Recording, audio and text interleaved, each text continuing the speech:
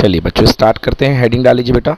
आज हमारा टॉपिक है मोशन ओके तो हम स्टार्ट कर रहे हैं फिजिक्स का टॉपिक अपना motion okay motion class ninth है और क्लास एलेवेंथ है। दोनों में ही ये टॉपिक है। स्टार्टिंग दोनों की सेम है, बिल्कुल सेम है दोनों की स्टार्टिंग इसलिए मैं एलेवेंथ वाले बच्चों को भी मैंने मैसेज किया है। क्रिश मैसेज कर दो एलेवेंथ क्लास में परी वगैरह को कि मोशन पढ़ना है तो जुड़ जाओ। ओके यस देखिए बच्चों, लिखिए सबसे पहला क्वेश्चन डिफाइन मोशन क्वेश्चन पहले लिखिए बच्चों डिफाइन मोशन मोशन क्या होता है? Okay so guys what is motion motion is a state okay motion is a state motion क्या है? मोशन एक स्टेट है. अगर कोई चीज़ अपनी जगह बदल रही होती है तो हम क्या कहते हैं? कि that the thing is in motion so what is motion motion is a state. Okay so write the first question define motion लिखिए motion is a state when a body is changing its position when a body is changing its position then it is said to be in motion अगर कोई body अपनी position change कर रही होती है तो हम क्या कहते हैं कि that body is in motion ठीक है clear okay let's see so motion के फिर और डेफिनेशन देखिए.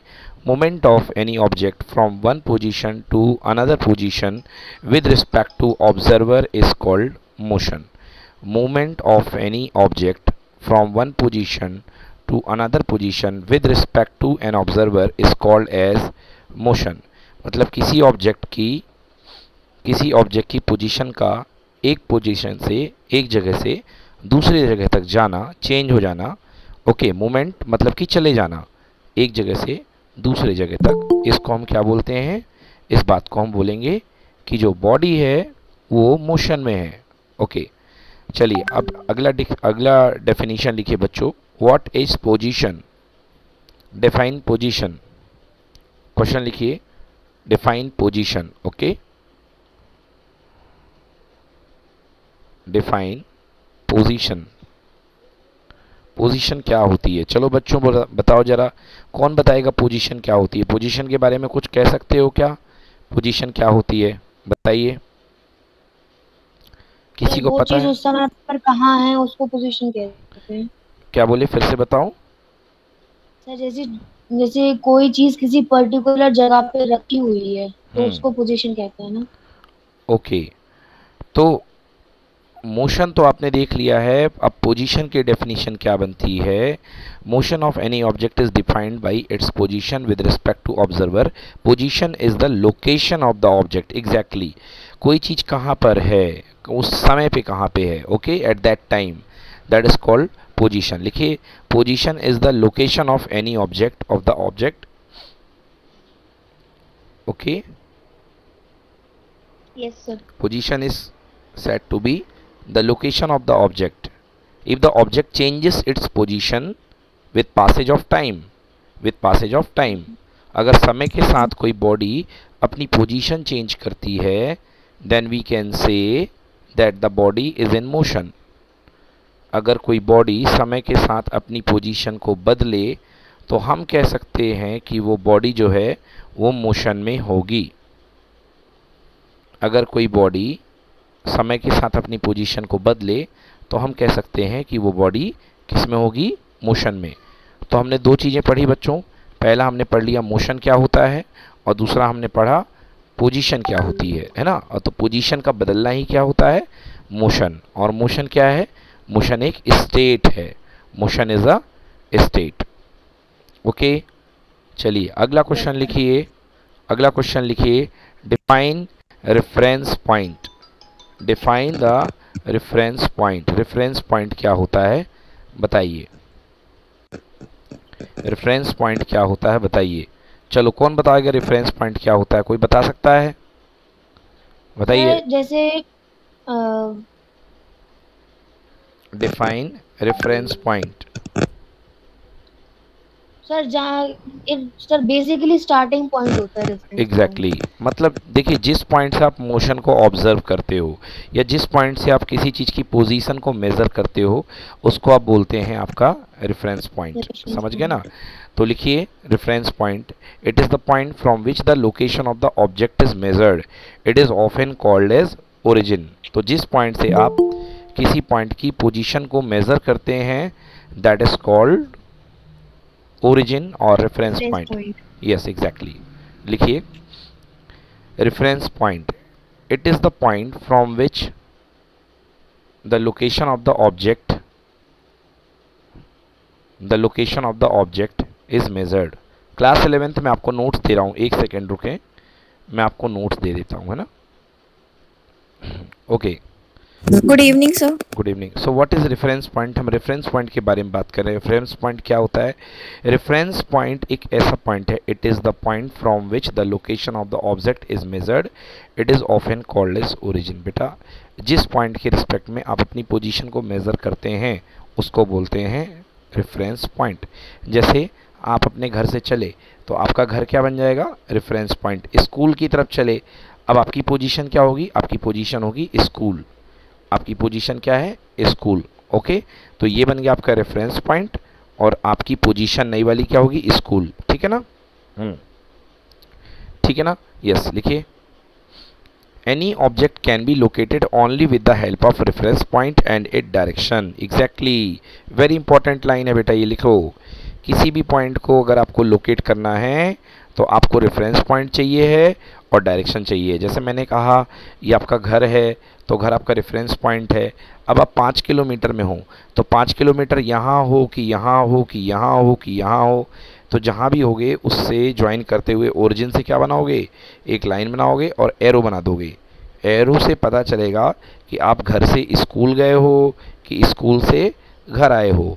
अगर एरो बाहर की तरफ़ गया है it means you are going from school home to school और अगर एरो अंदर की तरफ़ गया है मतलब आप स्कूल से घर की तरफ़ जा रहे हो।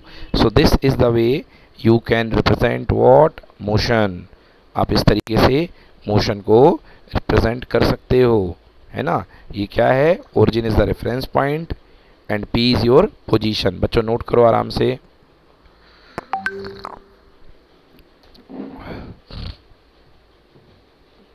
नोट करो। Exactly.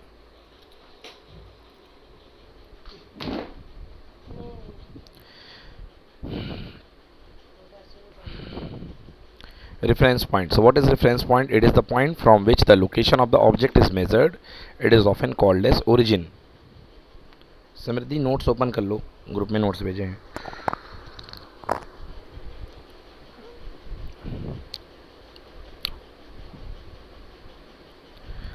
ओके अब एग्ज़ाम्पल बात करते हैं रेफरेंस पॉइंट की. Suppose a person changes its position with respect to a free reference point with passage of time in this example person is an object है ना?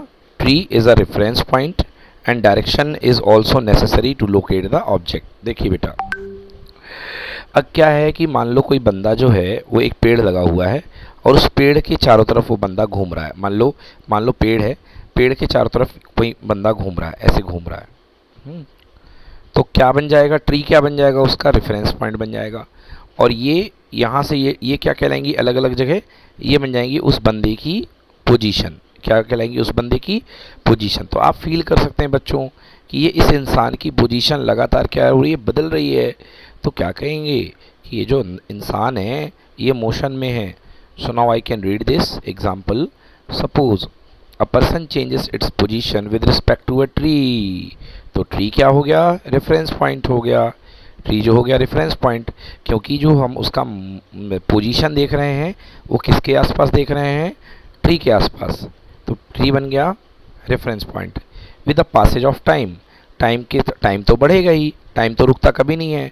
So with the passage of time that body changes his position in this example, the person is an object, definitely. Tree is a reference point and direction is also necessary to locate the object बिल्कुल सही। Direction के बिना आप पता नहीं लगा पाओगे। अभी अभी मैंने बताया कि आप अपने घर से पाँच किलोमीटर में हो तो पाँच किलोमीटर नॉर्थ में हो साउथ में हो ईस्ट में हो, कहाँ हो तो direction is very important that's why we using a arrow we using an arrow to represent the direction बोलो प्रियांशी प्रगति एंड ऑल समझ में आया कि नहीं आया? Yes sir okay Krish clear है? Yes sir okay now write down the next question लिखिए. Explain motion in a straight line heading डालिए. Explain motion in a straight line लिखिए explain motion in a straight line तो भैया motion in a straight line हमारे syllabus में जो हमें पढ़ना है ना बेटा वो हमें motion in a straight line ही पढ़ना है। तो आप मुझे motion in a straight line के कुछ एग्जांपल दीजिए जिससे मज़ा आ जाए। हम्म, या मोशन इन स्ट्रेट लाइन किसे कहते हैं वो अपन बाद में देखेंगे। बट पहले मुझे बताइए कि क्या आप कुछ ऐसे एग्जाम्पल्स जानते हैं जो स्ट्रेट लाइन में जहाँ पर मोशन हो रहा हो? बताइए। बिल्कुल सही। सामने ही बना हुआ है, लिफ्ट बनी हुई है, देखिए कितनी प्यारी लिफ्ट है ये। तो यहाँ पर जो है, ये जो स्ट्रेट लाइन में मोशन हो रहा है, लिफ्ट जो है, एक स्ट्रेट लाइन में आगे पीछे बढ़ती है। Yes so when an object is move in a straight line with respect to the observer, अगर कोई ऑब्जेक्ट जो है ऑब्जर्वर के रिस्पेक्ट में स्ट्रेट लाइन में मूव करता है that time we say that motion in a straight line अगर कोई ऑब्जेक्ट ऑब्जर्वर के रिस्पेक्ट में स्ट्रेट लाइन में मूव करता है तो हम ऐसे मोशन को क्या बोलते हैं? Motion in a straight line लिखिए बच्चों question define motion in a straight line answer लिखो. When an object, when an object moves moves in a straight line with respect to the observer yeah with respect to the reference point then motion is a straight line okay then that motion is called straight line motion then that motion is called straight line motion बेटा इसी को हम लोग बोलते हैं one dimension motion बेटा straight line motion straight line हमेशा एक वो एक डायमेंशन में होती है तो इसका नाम जो है क्लास 11 में आप लोग क्या पढ़ेंगे? One dimension motion so the same motion is called one dimension motion तो इस मोशन को हम लोग वन डायमेंशन मोशन भी बोलते हैं। Okay so the same is called one dimension motion so this is what? This is motion in a straight line okay चलिए, अब बात करते हैं, बच्चों, लिखिए। अगला क्वेश्चन लिखिए। अगला question explain the concept of position in straight line motion ठीक ना? Explain the concept of position in straight line motion अब हम देखेंगे, हम स्ट्रेट लाइन मोशन में हम कंसेप्ट को पढ़ेंगे पोजीशन पढ़ेंगे। तो इसके पहले मैं आपसे ये जानना चाहूँगा बच्चों कि देखो, इस सिचुएशन को समझो। सिचुएशन क्या है? कि आपके पास मान लो ये आपका रेफरेंस पॉइंट है ना? ये आपका रेफरेंस पॉइंट है। ये आपका मान लो आपके मोहल्ले की एक जगह है, एक शॉप है, ठीक ना? ये आपकी शॉप है, ठीक ना? तो ये आपकी मोहल्ले में एक शॉप है। आपका ये शॉप मान लो क्या है? रेफरेंस पॉइंट बेटा रेफरेंस पॉइंट को किससे शो करते हैं? ओ से। ओ मीन्स ओरिजिन तो ये ओरिजिन है। अब आप इस रेफरेंस पॉइंट के इधर भी जा सकते हो और इधर भी जा सकते हो। दोनों तरफ़ जा सकते हो। अब सवाल हुआ कि मान लो मेरी आँखों में पट्टी बंधी है, मेरी आँखों में पट्टी बाँध के आप लोगों ने मेरे को बिठाल दिया है कि, सर, आप तो आँखों में पट्टी बाँध लो और चुपचाप बैठे रहो। ये देखो, ये सारे हैं आपके, ये आँखों में पट्टी बाँध के मैं बैठा हुआ हूँ। और मैंने पूछा फिर संस्कृति से कि, भैया, ये बताओ कि तुम कहाँ गई? तो संस्कृति ने बोला, सर, मैं तीन मीटर गई। है ना? फिर संस्कृति चली, मैंने कहा, संस्कृति, कहाँ हो? सर, अभी भी मैं तीन मीटर चली हूँ। तो अब मुझे पता नहीं चलेगा कि संस्कृति मेरे तीन मीटर राइट है दुकान के या तीन मीटर लेफ़्ट है। हम्म, मैं मोशन में मैं तो समझूँगा तीन मीटर इधर इधर है या इधर ही इधर है। मुझे समझ में नहीं आएगा कि तीन मीटर राइट में या तीन मीटर लेफ़्ट में। तो पोजीशन को बताने के लिए हम लोग ओरिजिन के राइट साइड को प्लस मानते हैं और ओरिजिन के लेफ़्ट साइड को क्या मानते हैं बच्चों? माइनस मानते हैं। तो पोजीशन याद रखिएगा पोजीशन पॉजिटिव भी होती है और पोजीशन नेगेटिव भी होती है। तो लिखिए, बच्चों कॉपी में लिखिए पोजीशन कैन बी पॉजिटिव और negative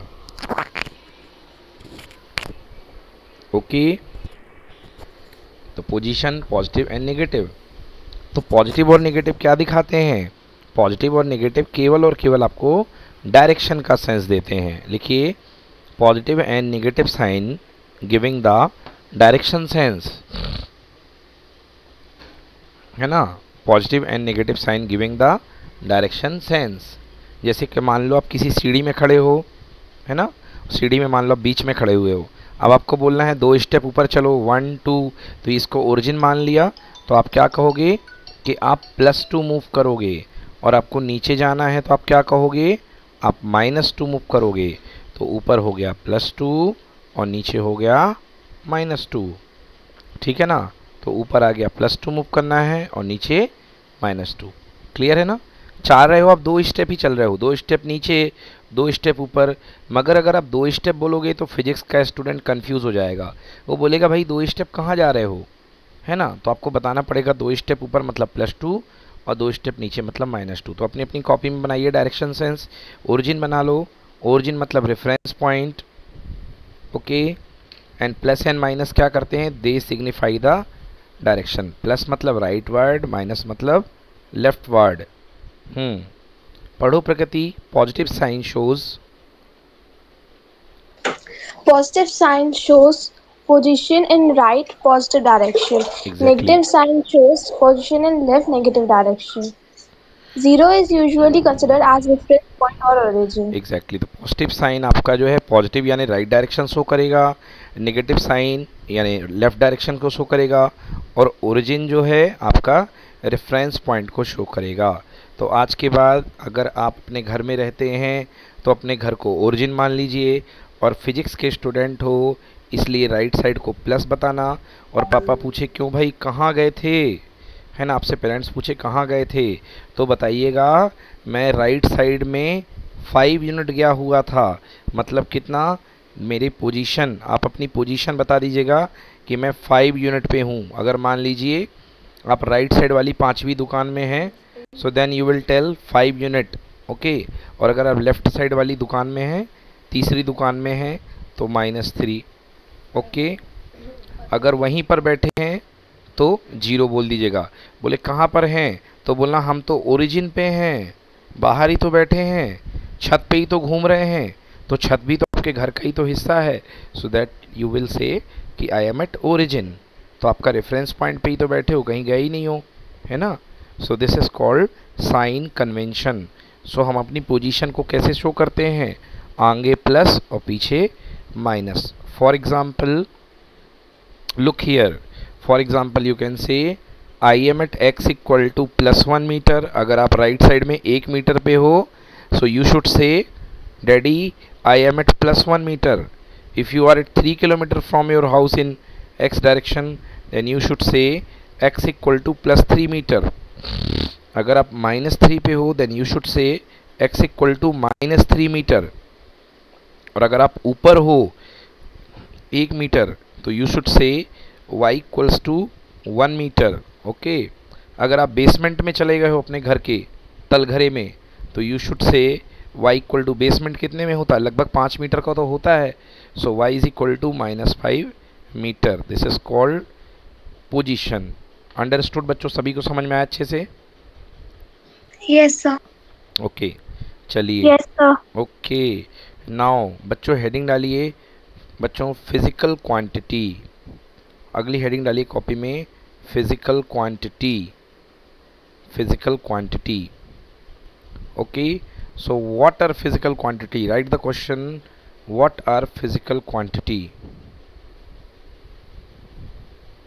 what are physical quantity the quantities used in used in physics are called physical quantity the quantities used in physics are called physical quantity ऐसी क्वांटिटी जो physics में इस्तेमाल होती हैं उनको हम physical quantity कहते हैं अब बच्चों फ़िज़िकल क्वांटिटी कितने टाइप की होती हैं? दो टाइप की, एक लिखिए vector and scalar vector and scalar okay vector and scalar अब आइए देखते हैं, आपकी भाषा में इस एग्ज़ाम्पल को समझते हैं। मान लीजिए, आप संडे के दिन अपनी मौसी के घर जा रही हैं। तो आपके पापा ने पूछा, क्यों? कहाँ जा रहे हो? तो आप बोलोगे, क्या? मौसी के घर. अब अगर आपकी पाँच मौसी हैं, मौसी number one, two, three, four, five तो आपको बताना पड़ेगा कौन सी मौसी के घर। क्योंकि एक मौसी का घर यहाँ है, एक मौसी का घर इधर है, एक मौसी इधर है, एक मौसी इधर है। मैं ये तो नहीं बोल सकता हूँ कि एक मौसी ऊपर चली गई। उनके घर तो बन जा नहीं सकते हैं। तो पांचवी मौसी भी मैं यहीं बना देता हूँ। है ना? वो मौसी भी यहीं है। ओबियसली ठीक ना? क्यों भाई? पाँच मौसी हैं तो पॉसिबिलिटी मे भी ओके एक मौसी इधर, एक इधर एक इधर एक इधर एक इधर है। एक छत में रहती हैं। हाँ ठीक है, पाँच ज़्यादा हो गई ना, मेरे को पाँच नहीं लेनी थी, मेरे को एक दो लेनी थी। चलिए तो ये मौसी हैं आपकी, इतने सारे मौसी हैं, है ना? अब आपसे पूछे, बड़ी फादर ने पूछे कि भाई कहाँ जा रहे हो? तो आपको बताना पड़ेगा कि कौन सी मौसी के यहाँ जा रहे हो, क्योंकि हर मौसी की डायरेक्शन अलग अलग है। हर मौसी का घर अलग अलग एरिया पे है। हाँ ना, ठीक है ना? एरिया अलग अलग है। फिजिक्स एरिया से नहीं चलती है फिजिक्स डायरेक्शन से चलती है। तो आपको उनकी पोजीशन क्लियरली बतानी पड़ेगी और पोजीशन में दो चीज़ें मेंशन करनी पड़ेंगी। एक उनका घर कितनी दूर है और दूसरा किस दिशा में है? दिशा मतलब डायरेक्शन यस वेस्ट जो भी है ईस्ट है वेस्ट है नॉर्थ है साउथ है नॉर्थ ईस्ट है नॉर्थ वेस्ट है ईस्ट वेस्ट है, जो भी है, आपको बताना पड़ेगा कि किस डायरेक्शन में रहती हैं वट एवर वट एवर जो भी, बेटा, जो भी हो, आपको बताना पड़ेगा कि वो कहाँ रहती हैं, किस डायरेक्शन में रहती हैं। तो मतलब बच्चों, आपको दो चीज़ें मेंशन करनी है, एक कितनी दूर और दूसरा किस ओर? समझो। क्या क्या बोला मैंने? कितनी दूर? कितनी दूर? एक किलोमीटर, दो किलोमीटर, तीन किलोमीटर, चार किलोमीटर, पाँच किलोमीटर। ये कहलाएगा कितनी दूर। तो ये कितनी दूर वाली जो टर्म है ना, इसको फिजिक्स में बोलते हैं बच्चों मैग्नीट्यूड क्या बोलते हैं? बोलो। मैग्नीट्यूड मैग्नीट्यूड और दूसरा आपको एक्सप्रेस करना पड़ेगा कितनी दूर और दूसरा आपको एक्सप्रेस करना पड़ेगा किस तरफ़। किस तरफ़ मतलब किस ओर। किस ओर। कहाँ जा रही हो? कौन सी वाली मौसी? तो आपको डायरेक्शन बतानी पड़ेगी वो अपनी सिविल लाइन वाली मौसी, कटरा वाली मौसी। समझ गए ना? यहाँ वाली मौसी उधर वाली मौसी तो आपको बताना पड़ेगा इस तरीके से। तो आपको डायरेक्शन भी बतानी पड़ेगी। सो so, ऐसी क्वांटिटी जिसको रिप्रेजेंट करने के लिए मैग्नीट्यूड और डायरेक्शन दोनों की रिक्वायरमेंट होती है ऐसी क्वांटिटी को हम क्या कहते हैं? वेक्टर क्वांटिटी तो कॉपी में लिखिए बच्चों डिफाइन वेक्टर क्वांटिटी क्वेश्चन लिखो। Define vector quantity define vector quantities the quantity which have both magnitude and direction is called vector quantity the quantity which have both magnitude and direction is called vector quantity example अभी तो एक vector quantity हम फट से पढ़ के आए हैं क्या पोजीशन पोजीशन भी क्या है वेक्टर क्वांटिटी है पोजीशन कहाँ है वेक्टर क्वांटिटी है ना? जैसे मैंने समृद्धि को फ़ोन किया, फ़ोन पे मैंने पूछा, क्यों समृद्धि? कहाँ हो? तो समृद्धि जवाब देगी, सर रेफरेंस पॉइंट से टू किलोमीटर ईस्ट नॉर्थ तो ये क्या होगा? North east sir reference point से टू किलोमीटर नॉर्थ ईस्ट पे हूँ. ये मेरे को जवाब दोगी आप समृद्धि। सर ओरिजिन से टू किलोमीटर नॉर्थ ईस्ट तो मैं समझ जाऊँगा कि ओरिजिन से two kilometer north east east. इधर ईस्ट है तो इधर आप यहाँ कहीं पे होगी। नहीं तो मैं तो यहाँ कहीं अरे अभी टू किलोमीटर नहीं हो अगर जब होगी तब की बात हो रही है। सो बच्चों लिखिए vector is a quantity which having both magnitude and direction example force and position अगला क्वांटिटी लिखो बच्चों define scalar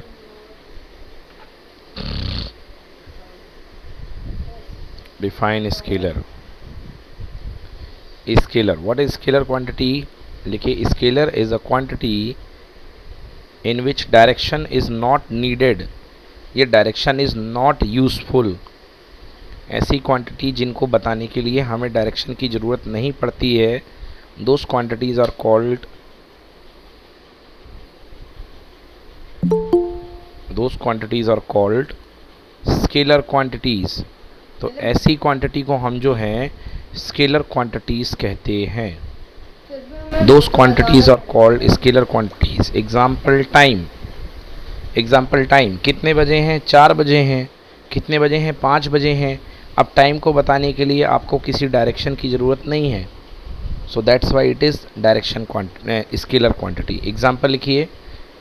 टाइम दूसरा टेम्परेचर आज का टेम्परेचर कितना है? 23 डिग्री सेंटीग्रेड 25 डिग्री सेंटीग्रेड तो इसमें कुछ भी बताने की ज़रूरत नहीं डायरेक्शन की।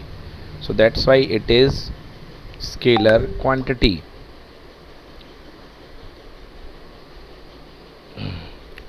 okay अगला क्वेश्चन लिखिए बच्चों। डिफाइन मैग्नीट्यूड अगला क्वेश्चन लिखिए। तो क्या क्या क्वेश्चन मैंने करा यहाँ पे? मैंने कहा पहला पहला क्वेश्चन मैंने बताया। डिफाइन स्केलर क्वांटिटी दूसरा मैंने कराया आपको define vector quantity. And the third question is what is magnitude? What is magnitude? बताओ प्रियांशी मैग्नीट्यूड क्या होता है बोलो? प्रियांशी बेटा बोलो मैग्नीट्यूड क्या होता है? नहीं बताओगी प्रियांशी? नहीं बताओगी मैग्नीट्यूड क्या होता है। प्रकृति आप बताओ बेटा मैग्नीट्यूड क्या होता है? हाँ सेंस वही है कितनी दूर एग्जैक्टली exactly. मतलब कि मैथमेटिकल जो टर्म है।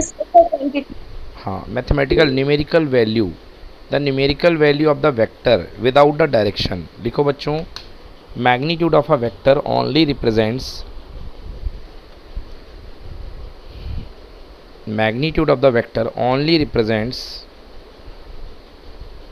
magnitude of vector only represents the numerical value of the vector vector की न्यूमेरिकल वैल्यू न्यूमेरिकल मतलब जो आपने अंक बताया, दो kilometer. Numerical value numerical value of the vector without direction मतलब मैग्नीट्यूड में डायरेक्शन की ज़रूरत नहीं है. चलिए, अगला क्वेश्चन लिखिए। डिफाइन डिस्टेंस नहीं distance and second question define displacement अब बच्चों, मैं दो चीज़ें आपको पढ़ाऊँगा। एक है डिस्टेंस और एक है डिस्प्लेसमेंट आइए देखते हैं डिस्प्लेसमेंट और डिस्टेंस का मतलब क्या है? डिस्टेंस का मतलब क्या है बच्चों?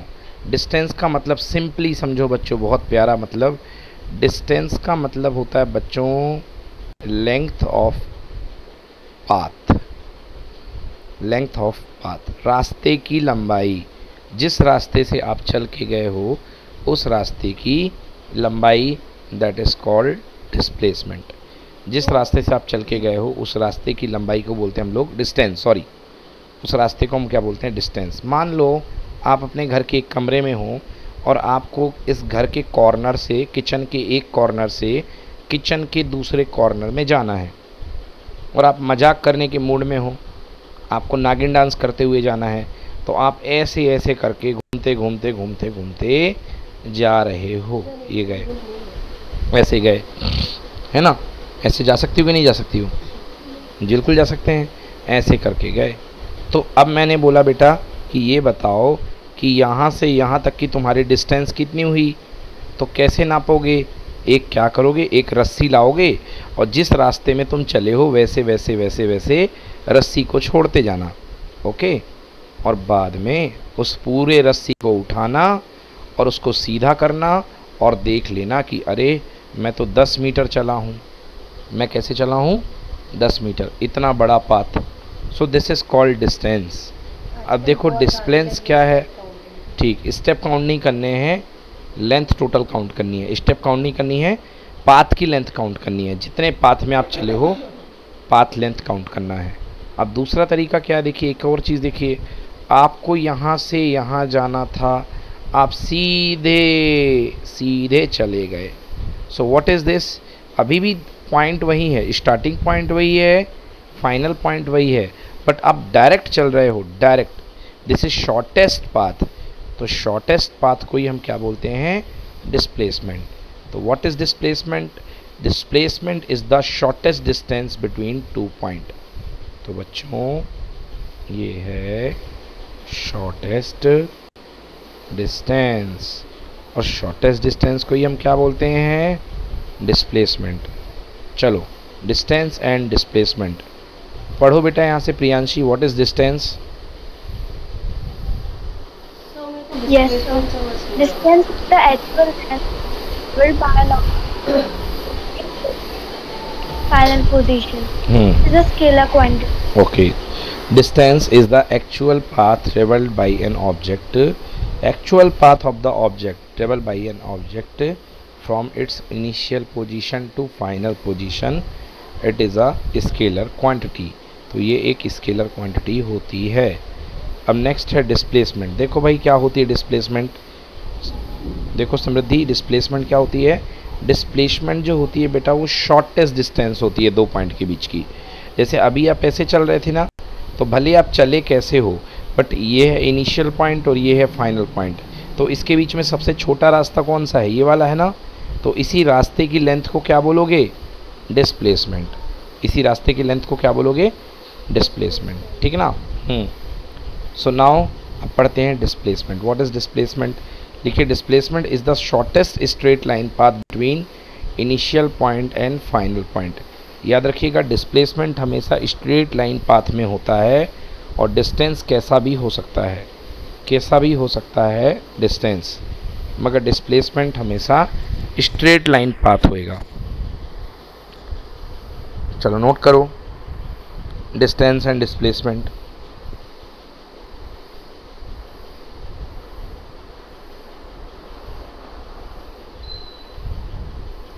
चलिए डन अब देखते हैं डिस्प्लेसमेंट के बारे में। ये देखिए, एक आपके सामने सिचुएशन दिखाई गई यहाँ पे ओके ये आपके सामने यहाँ पर एक सिचुएशन दिखाई गई है। अब इस सिचुएशन में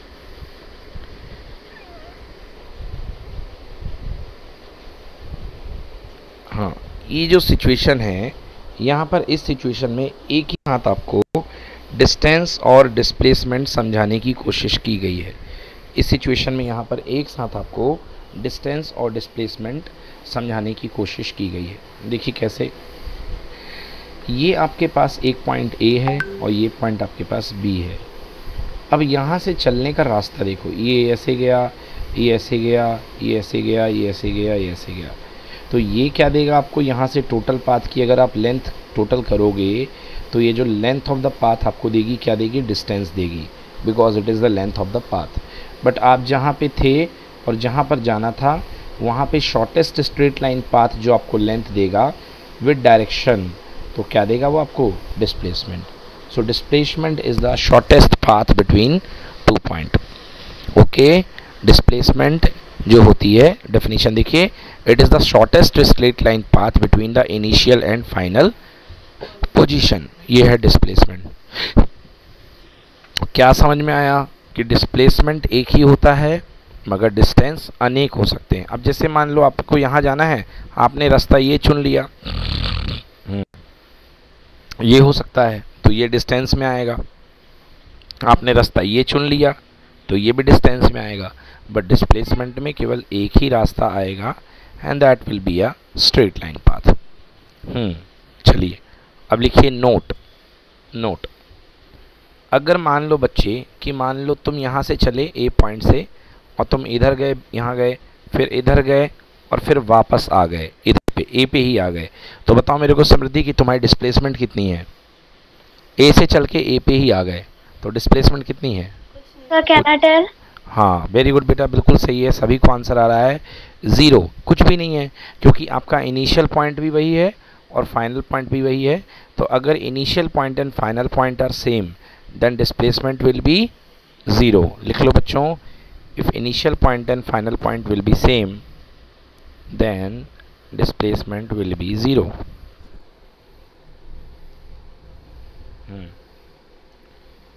अच्छा बताओ बच्चों मुझे कि क्या डिस्प्लेसमेंट पाथ पे डिपेंड करती है कि नहीं करती?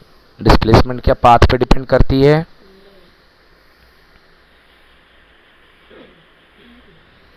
बोलो बच्चों। इस displacement depends on path no distance जो होती है, वो पाथ पे डिपेंड करती है, मगर डिस्प्लेसमेंट पाथ पे डिपेंड नहीं करती। Distance depend on path but displacement does not depend on path.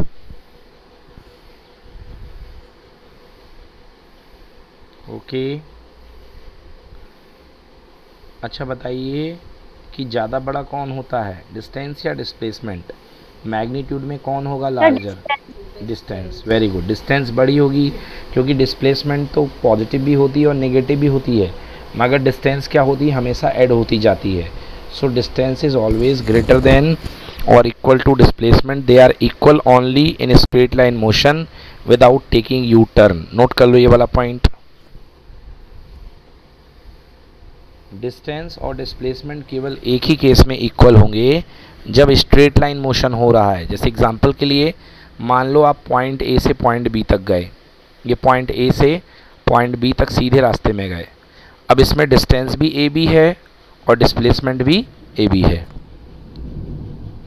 क्योंकि शॉर्टेस्ट पाथ भी वही है और लेंथ ऑफ़ द पाथ भी वही है।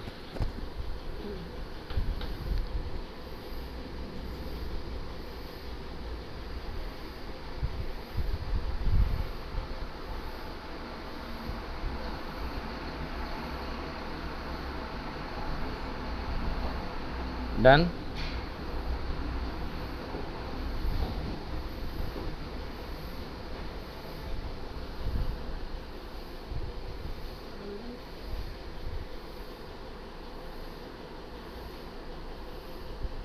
चलिए। लिख लिया सबने बन गया।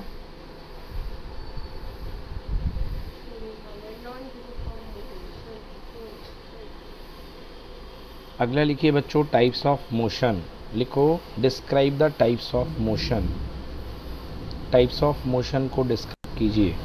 अगला टॉपिक लिखिए बच्चों। Describe the types of motion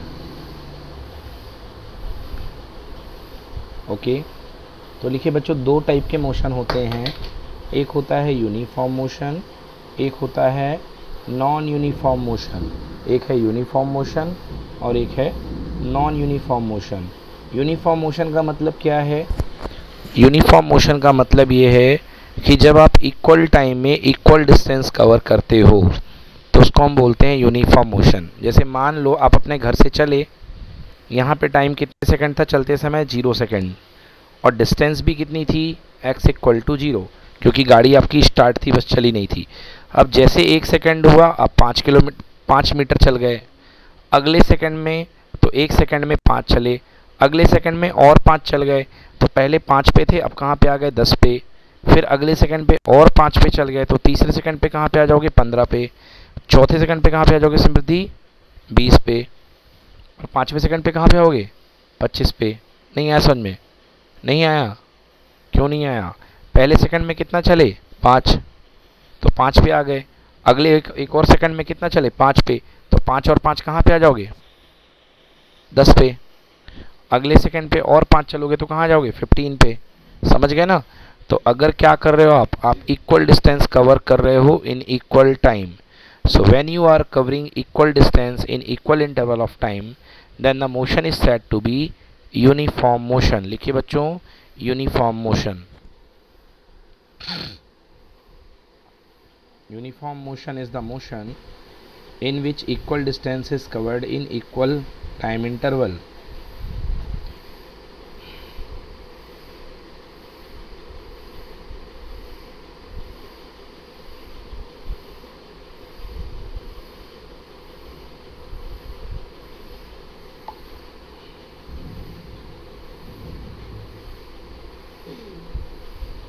equal distance traveled in equal time interval.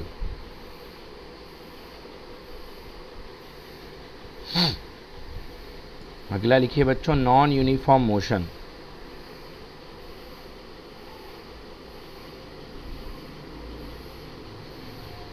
non uniform motion लिखिए नॉन यूनिफॉर्म मोशन अगर आप जो है इक्वल टाइम इंटरवल में अनइक्वल डिस्टेंस ट्रेवल कर रहे हो, जैसे पहले सेकंड में आपने पाँच मीटर ट्रेवल किया, दूसरे में आपने पंद्रह कर दिया, तीसरे में आपने ट्वेंटी कर दिया तो देखो आपकी गाड़ी की स्पीड क्या और ये लगातार बढ़ रही है। तो ऐसे मोशन को क्या बोलेंगे? नॉन यूनिफॉर्म मोशन लिखिए। Non uniform motion is the motion in which in which unequal distance is covered in equal time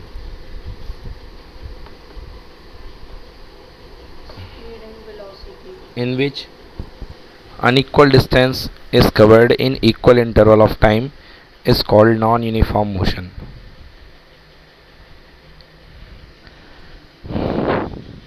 चलिए तो आज हम यहीं तक करेंगे और अब यहाँ तक क्या करिए जितना मैंने पढ़ाया है इसके मेरे को नोट्स बना करके इससे भेजिए सभी लोग। मैं वेट कर रहा हूँ। स्पीड एंड वेलोसिटी करना है क्या? ठीक है। 45 नहीं लगा दिए। चलिए ठीक है। स्पीड एंड वेलोसिटी भी कर लो। चलो स्पीड देखिए बच्चों, कोई बड़ी बात नहीं। स्पीड वेलोसिटी भी कर लेते हैं। स्पीड इसको भी साथ में करिएगा। What is speed speed is the distance travelled by the object in unit time okay unit time में मतलब वन सेकेंड में कितनी आपने एक सेकेंड में कितनी डिस्टेंस ट्रेवल करी है? एक सेकेंड में कितनी डिस्टेंस ट्रेवल करी है? सो so, फार्मूला क्या बनेगा? Distance travel upon time taken is called speed so what is speed speed is the distance traveled by the object in unit time. Okay? अब एवरेज स्पीड का formula देख लीजिए। Speed में एक speed है average speed what is average speed the the ratio of the total distance travelled by the total time of a body is called average speed तो average speed का मतलब होता है total distance upon total time ठीक है? Average speed का मतलब होता है total distance upon total time तो स्पीड जो है बच्चों देखो किस पे डिपेंड करती है? डिस्टेंस पे. और डिस्टेंस की डायरेक्शन तो होती नहीं है. तो ये कैसी क्वांटिटी है? ये एक स्केलर क्वांटिटी है। लिख लो कॉपी में कि speed is a scalar quantity speed is a scalar quantity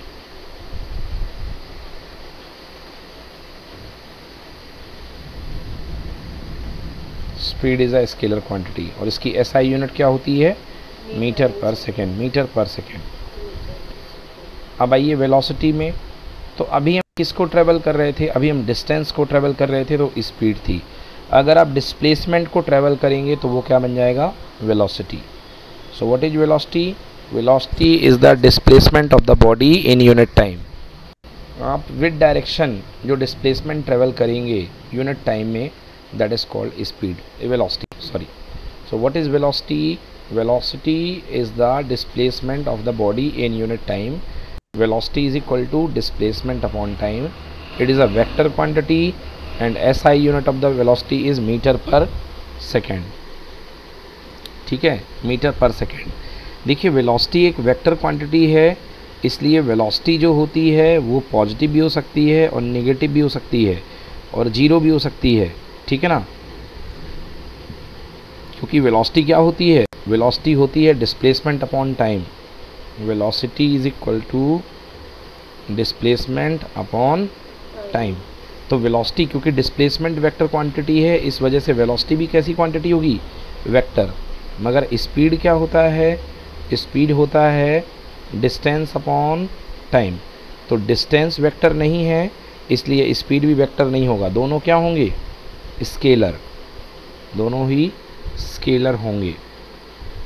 हम्म तो क्या लिखा है?